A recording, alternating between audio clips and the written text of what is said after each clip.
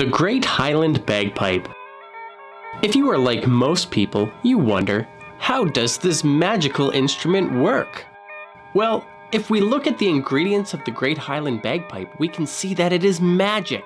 Most bagpipian scholars will try to tell you that the drones emit one continuous sound that the melody is played over the chanter blah blah blah.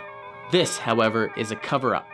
Recent found historical documents show a different story.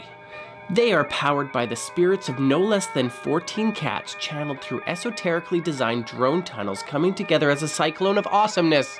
Many people do not appreciate the bagpipes as sciency stuff has shown that they can't handle that much awesomeness. I hope this has answered your questions about the Great Highland Bagpipes.